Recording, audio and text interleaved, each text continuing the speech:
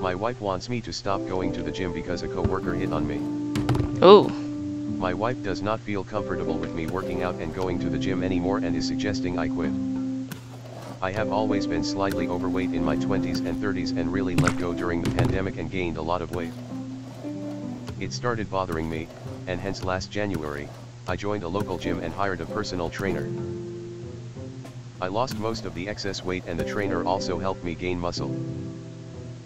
I love going to the gym now and working out 3 to 4 times a week. My wife of course loved my dedication and I sometimes found her staring at me when I was changing, which was cute. Oh. Overall, my confidence improved, and I also started dressing nicely, and everything just fit right. I had a situation happen to me in the summer at my workplace. My wife's friend Barb also works in my company. Where does One this go? In my company JC, from a different department, started becoming very friendly with me. Started joining me for lunches and slacking me through the day about random topics. I would be busy and try to be polite and ignore her. However, things got weird when she got hold of my phone number and started messaging me after hours.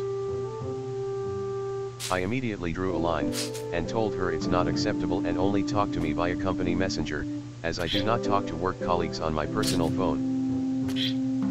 I also started ignoring her after that, except for a polite hello when we came face to face. My wife asked me to report her to HR, but I did not cause she never messaged me about anything inappropriate. My wife checked with her friend Barb, and she told my wife that JC and her Oh, friends were discussing my weight loss and how I have completely changed the way I dress. Again, I ignored it as I am not sure this was raised enough to be reported to HR. The day before yesterday, during our Christmas party, Jay approached me twice and asked me to join her on the dance floor. I declined and just went about my way. By the end of the night, she came to me, started dancing suggestively in front of me, and did something highly inappropriate. I was shocked and fell back spilling my drink on myself. JC's manager swooped in and told me she had too much to drink, and I never saw JC again at the party. When I reached Gross. home, my wife had already heard about the incident from Barb. She was crying and was angry at me. She blamed me for not reporting JC to HR when she had told me to. Oh. She also said I was drunk and stank like whiskey. After I calmed her down, she asked me to shower and rest. She apologized before sleeping but told me she felt very violated by JC's actions and I promised her I would meet with my manager and HR as soon as the office opens again, which is afternoon. What? Years. No, what to the hint, not, not the story. woke up and started getting ready to go to the gym. My wife asked me if I could not go to the gym. I said okay, and we both cooked a nice breakfast and had fun family time with our toddler. Afterward, my wife asked me if I could hold off going to the gym for a while. I already forgot. She told me that she feels insecure when other women look at me, and yesterday was a deal breaker. We never had any similar issues in the 11 years of our marriage. She loved me just the way I was and did not care if I became muscular. She Okay. told me that the purpose of the gym was to lose weight and I have already achieved it, so I can just maintain where I am at and not work out further. Upon further probing, she told me that my losing weight had been a hot topic among her friends group, and she had a fallout with one of her friends because she made some sexual comments about me. Uh. All of this is making her very anxious. On one hand, I love working out now, for the first time in my life. It makes me feel confident. On the other hand, I want my wife to be happy, and this is a very small price to pay in my books. I know she is being insecure and controlling, but I love her and all I want to do is see her being comfortable and happy. I am holding off going to the gym till New Year's and enjoy the holidays with my family. However, Ada to want to continue after that. How do I convince my wife to not be insecure and what have people in this situation done? Relevant comments. So are you going to HR or not, because the gym is irrelevant here. Yes. Also HR person was literally standing 15 feet from where the incident happened, so I don't know if things will be already taken care of before I go back after New Year's. However, as you know it's different with me being a man, as mostly everyone around just chuckled at how drunk she was. That sucks. Is your wife overweight? No. She is one of those high metabolism person who can eat anything and still stay in shape. That is a crazy statement. I on the other hand can look What- at a donut and Why did they need to know that? Give your wife some time to work through some of these insecurities, but this doesn't mean you immediately quit. She also may change her mind about the gym stuff. Thanks. This exactly how I feel. Everyone who is saying she is insecure and quit, I am sure is either not married or should not get married.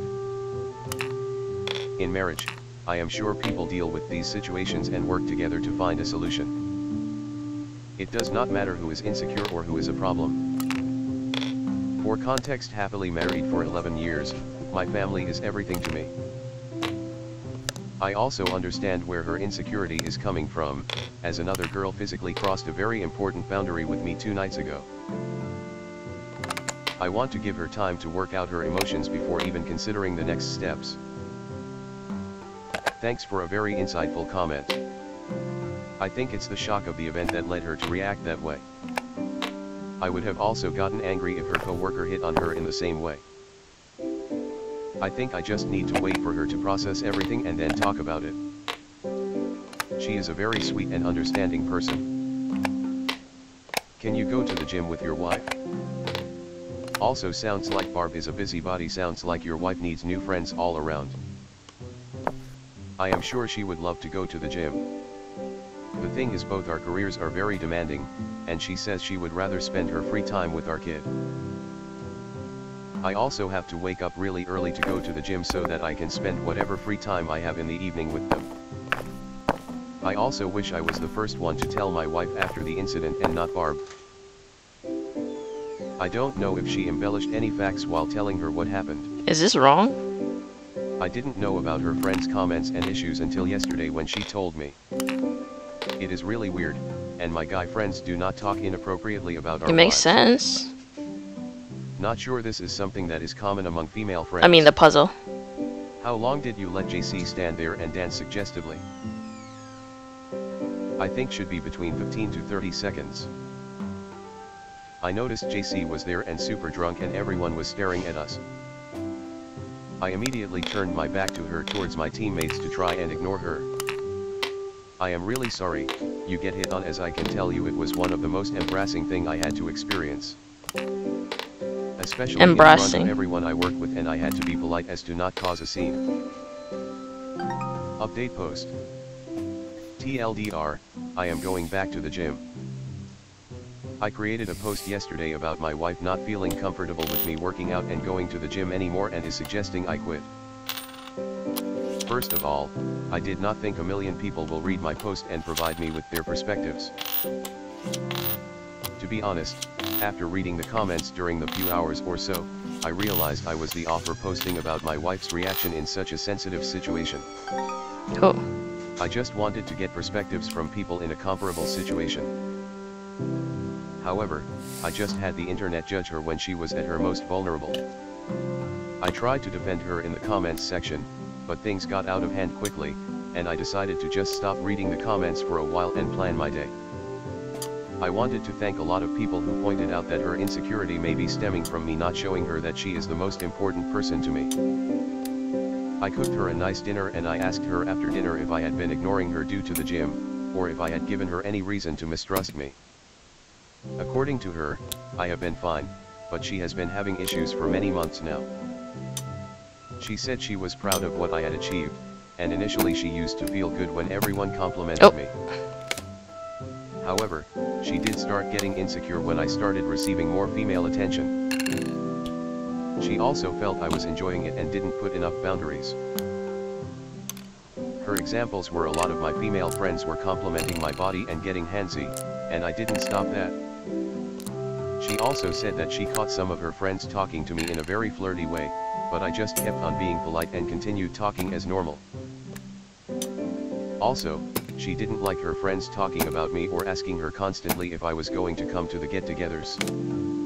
When one of her friends expressed some pretty disgusting thoughts to another friend in private, and she came to know, there was a big fight in their group.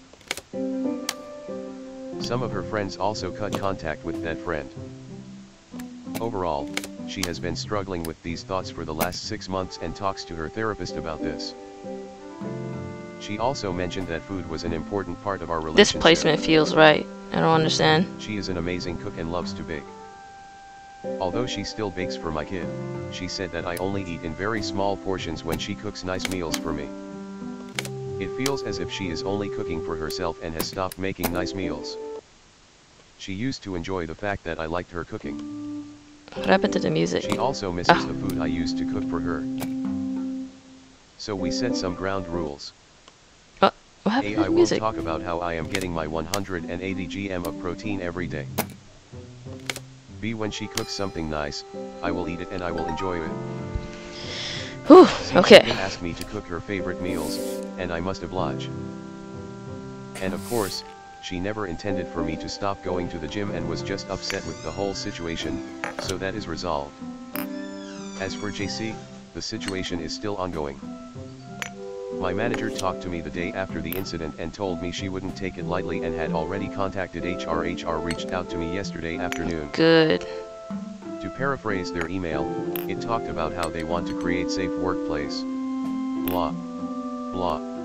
JC gave a letter of apology to her manager and her manager forwarded it to HR. She said that she was offered too many shots and got blackout drunk and does not remember the end of the evening. She thanked her manager for taking her to her hotel room safely. She also offered to never drink alcohol at corporate events or during office happy hours. Good. HR set up a meeting with me and my manager after we get back from the break as they want to make sure I am okay. I wanted to get an opinion from anyone who works in HR here.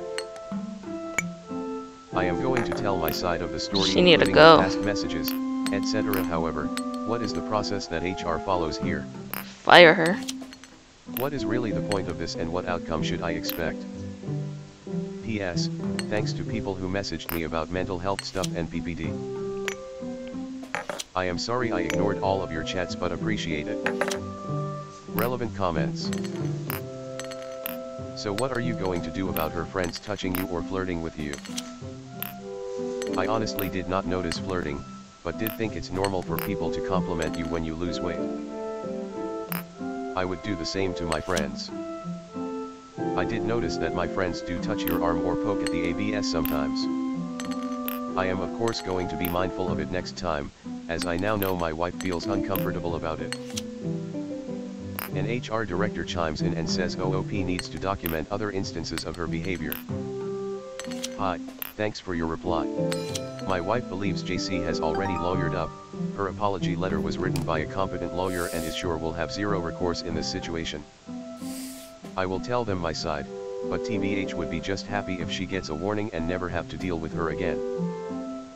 A recipe. I will tell you a funny anecdote from yesterday. I cooked penne carbonara and garlic bread for our dinner. She knows I avoid bread and pasta and had not eaten pasta for many months now. But she loves it. She almost laughed out loud when she saw what I made. She had the biggest smile seeing me eat that.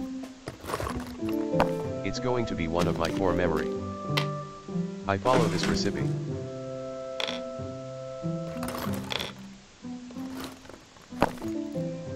Oh, that was the end. Um, see y'all next video. Bye. I hope you guys like the format.